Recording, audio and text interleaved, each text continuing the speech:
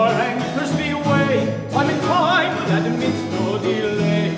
Take a rosy short leave of your on the shore, and silence their mourning with vows of returning, but never intending to visit them more.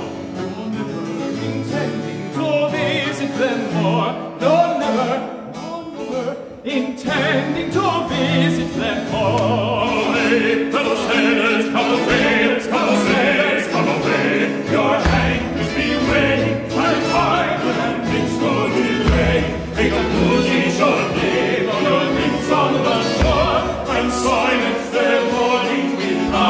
Returning, but never repenting.